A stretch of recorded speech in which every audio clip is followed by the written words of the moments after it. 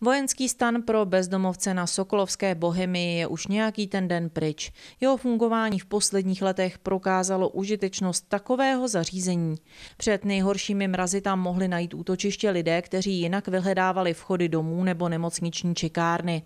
Životnost stanu se ale krátí.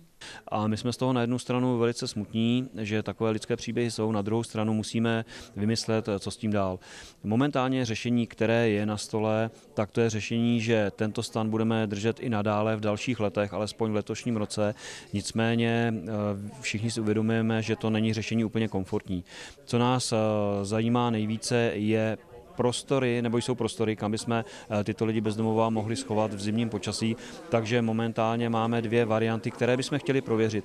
Tou první variantou je zkusit se spojit s někým, kdo vlastní objekt na území města Sokolova a zkusit s ním navázat nějakou spolupráci, třeba na bázi toho, že jedno patro by dal k dispozici městu Sokolov a my bychom jej nabídli posléze společnosti, která nám pomůže eh, lidi bezdomová ubytovávat.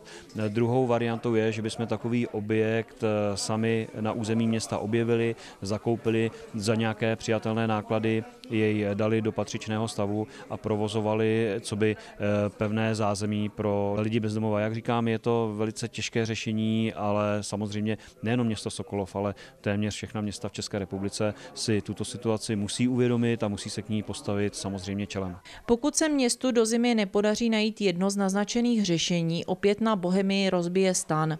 Mělo by ale už jít o komfortnější variantu, která by uměla například oddělit prostory pro ženy a muže.